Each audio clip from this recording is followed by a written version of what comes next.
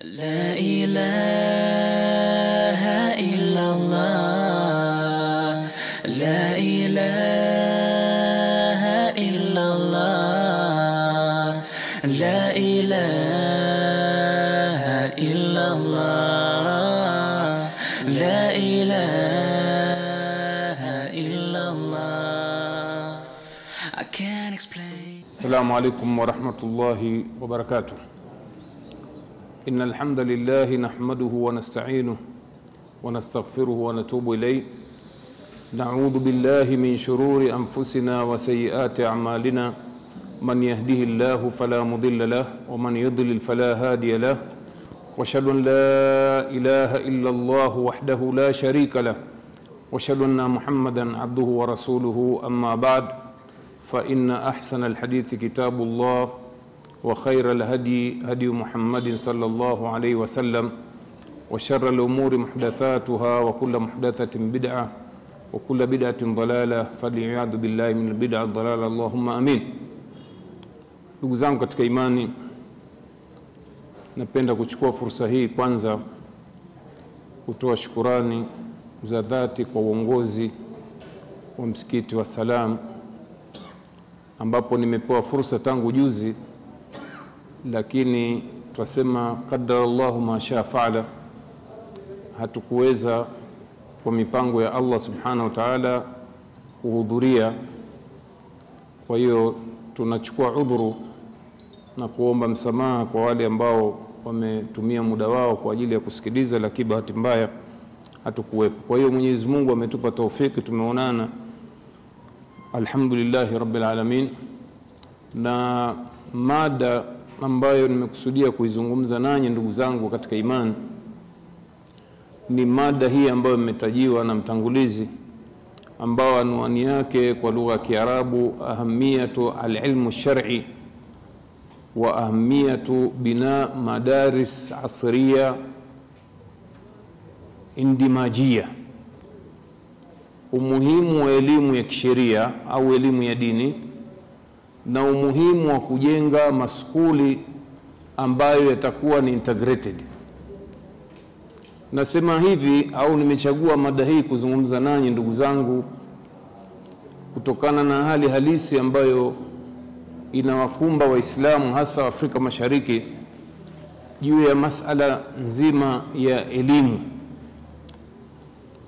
kwa sababu sisi katika nchi zetu hizi tatu Tanzania, Kenya na Uganda, pamoja na nchi za jirani nyingine, ni kwamba tarikhi, historia inaonyesha kwamba ni nchi ambazo zime Uislamu umetangulia muda mrefu sana. Nazungumza hasa kule kwetu Tanganyika, Tanzania.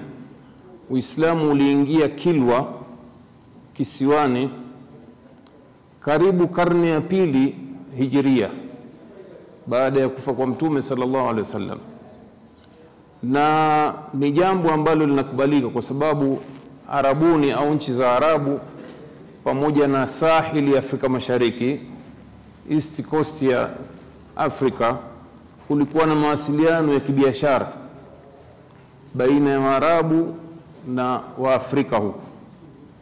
Kwa hiyo ndani ya immigration hii iliyofanyika muda mrefu ikapelekea kwamba baada ya kuja kwa mtume wetu Muhammad sallallahu alaihi wasallam, na nyie mnajua kwamba masahaba mwanzo kabisa walikuja Afrika kabla hata mtume hajahamia Madina, walikuja Habasha, hijra ya kwanza.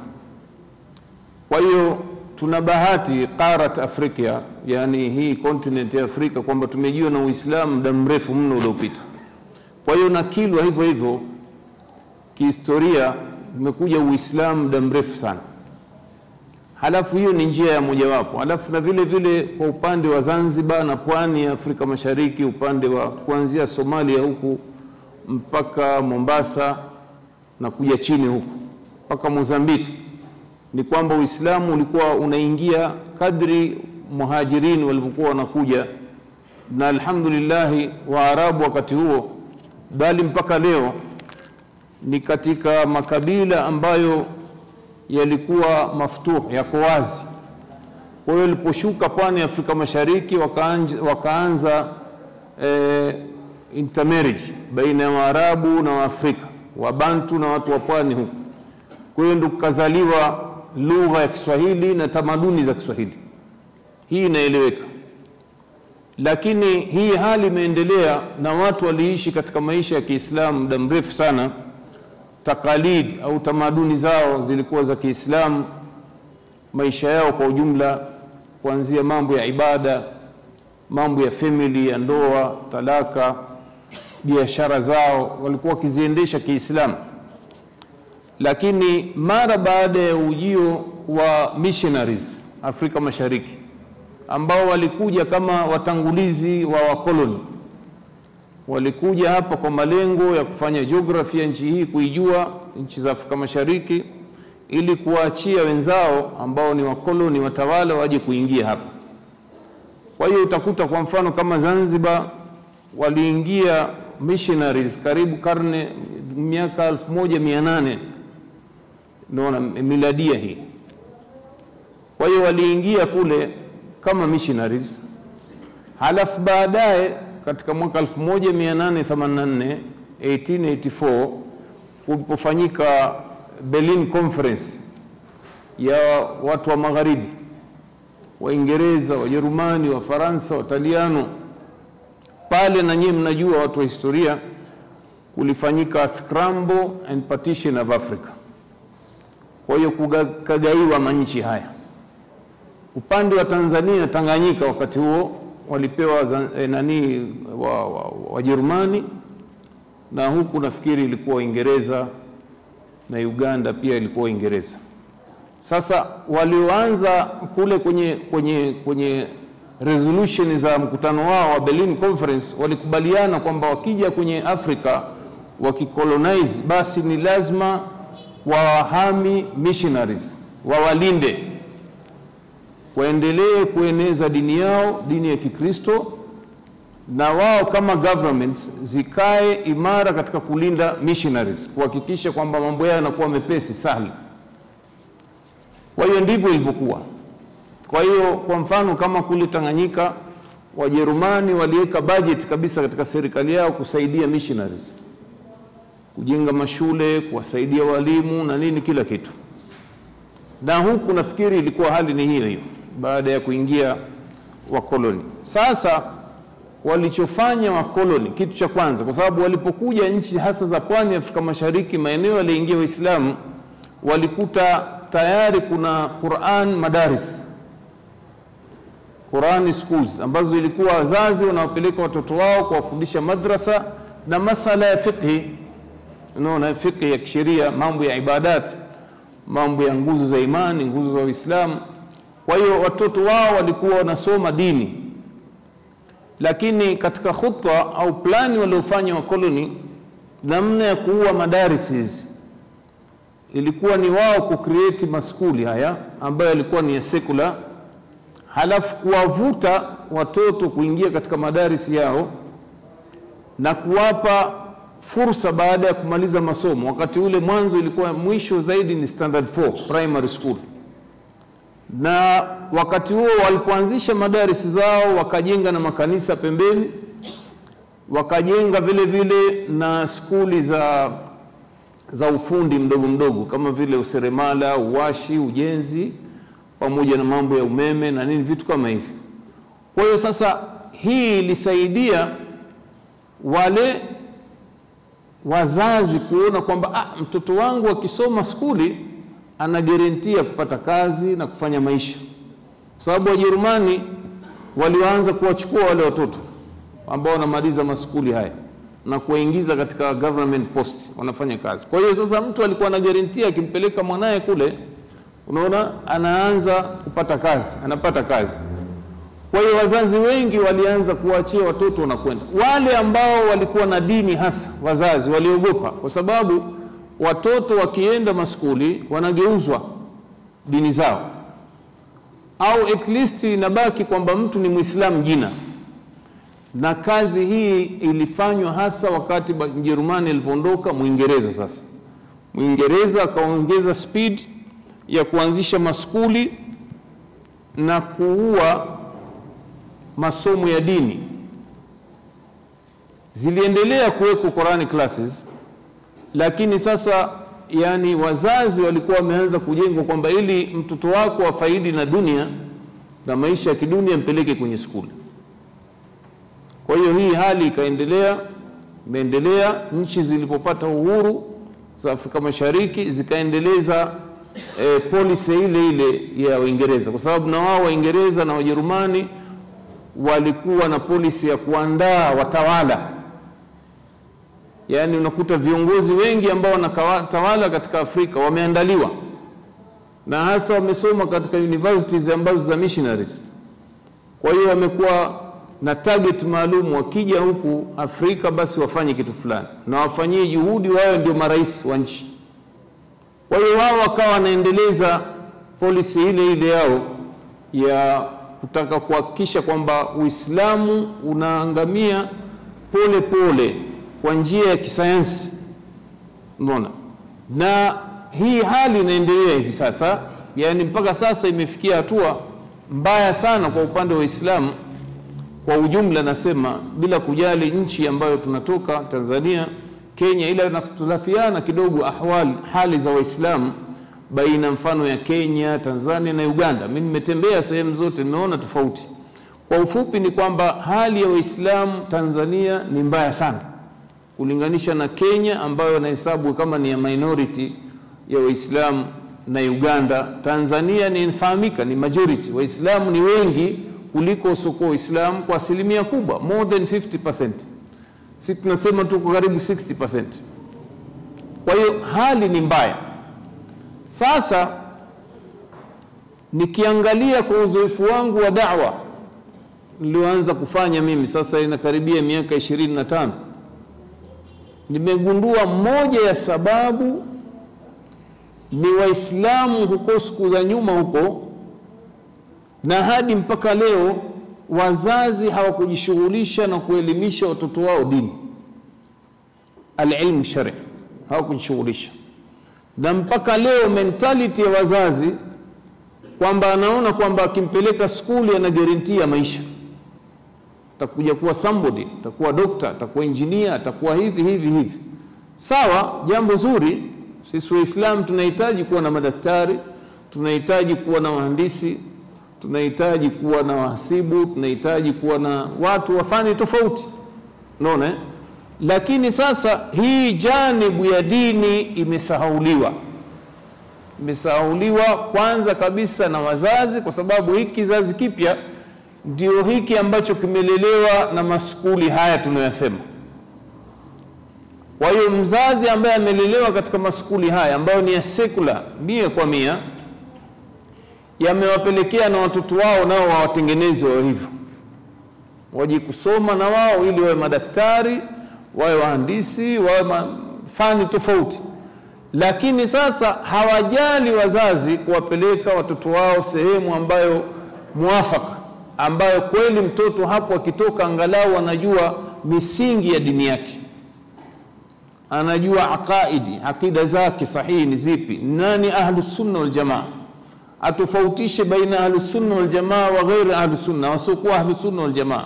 Kwa nini? Kwa sababu sasa kuna diaya kwamba Waislamu wote kitu kimoja, bila kujali itijaa zao, madhehebu yao na nini, sote kitu kimoja, la ilaha illallah, lakini bila kujali kwamba kuna madhehebu mengine yanayojidai Waislamu lakini nao pia wanafanya muharaba, wanapiga vita Uislamu.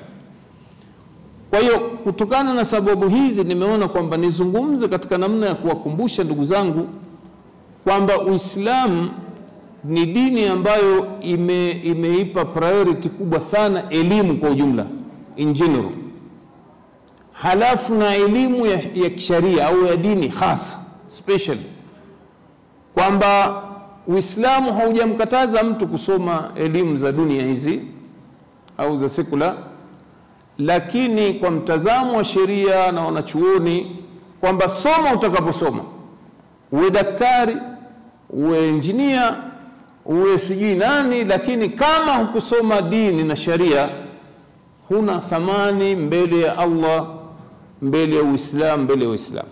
Soma utakaposoma.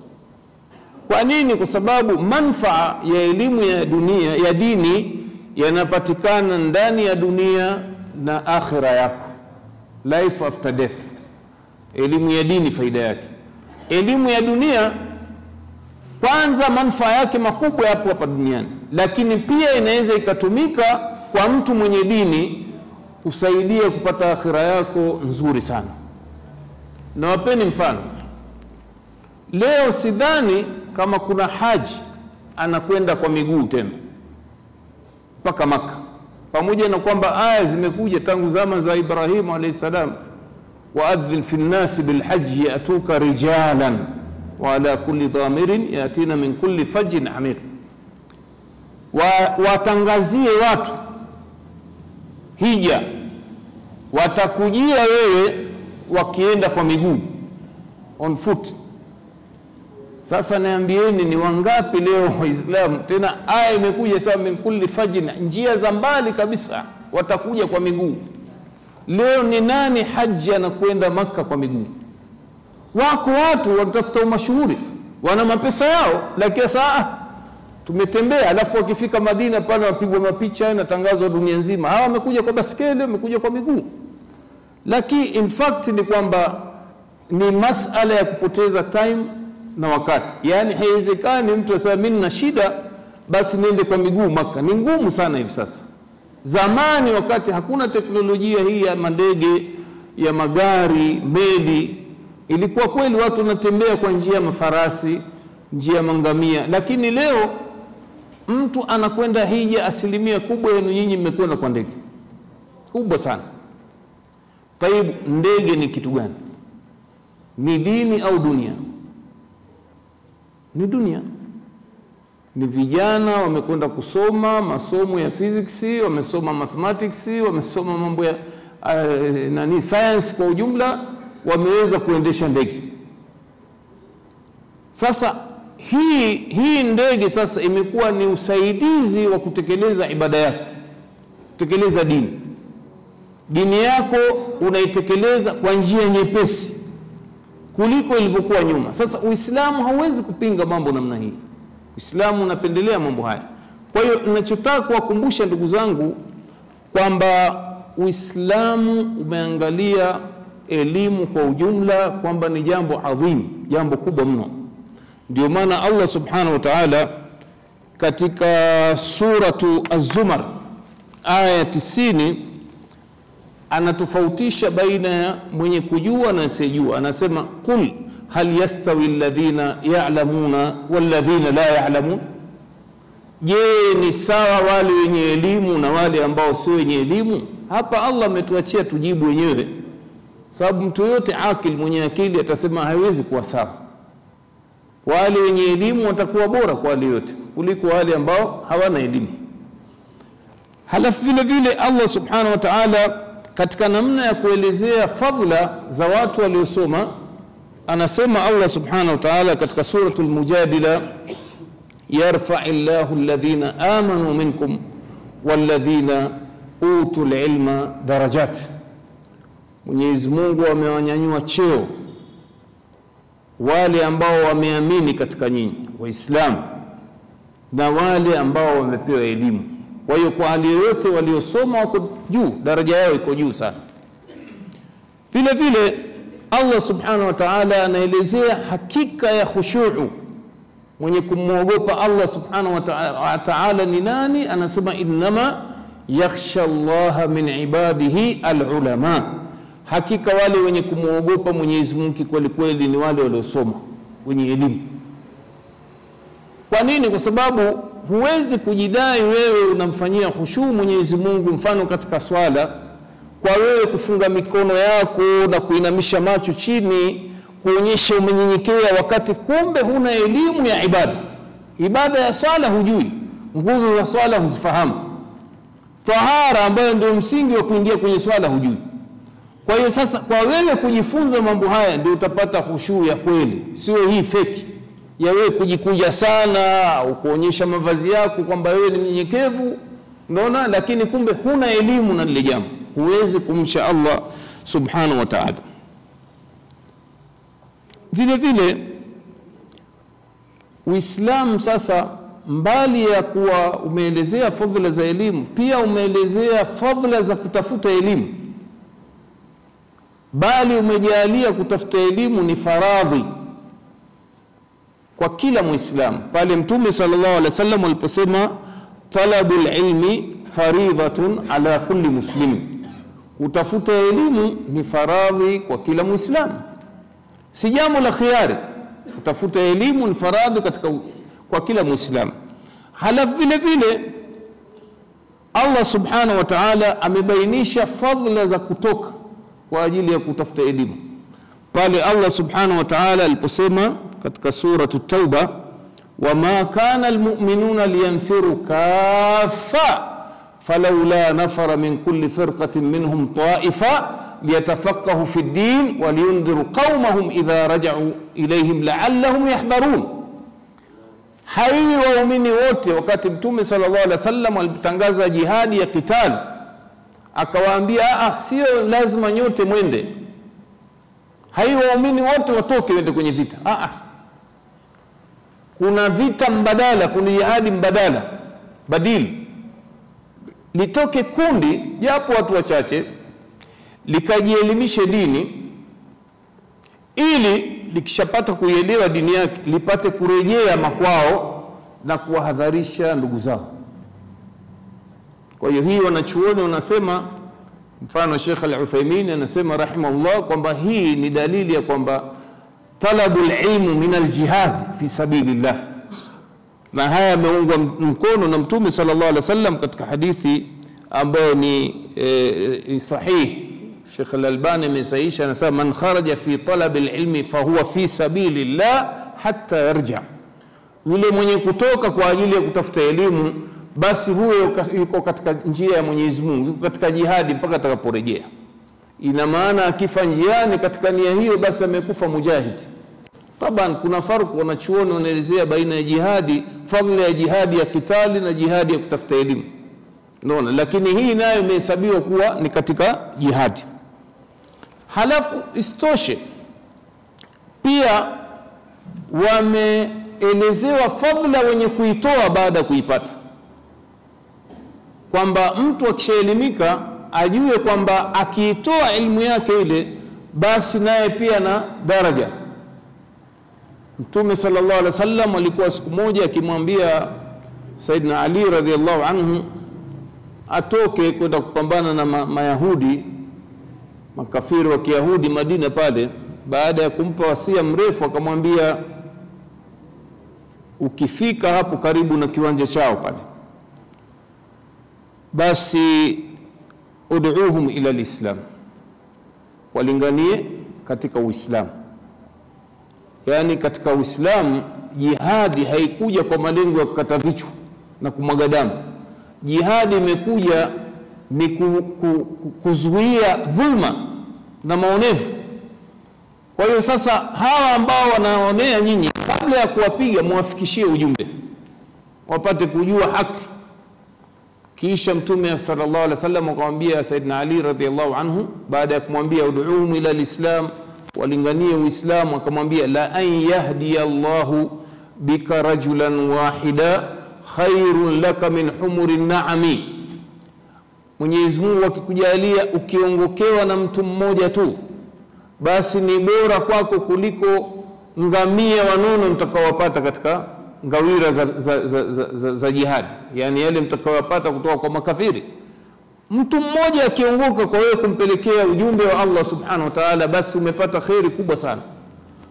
Kwa hiyo hii inaonyesha kwamba namna gani Mtume sallallahu alaihi wasallam alivyoelezea umuhimu wa kusoma na kuelimisha. ilaha illallah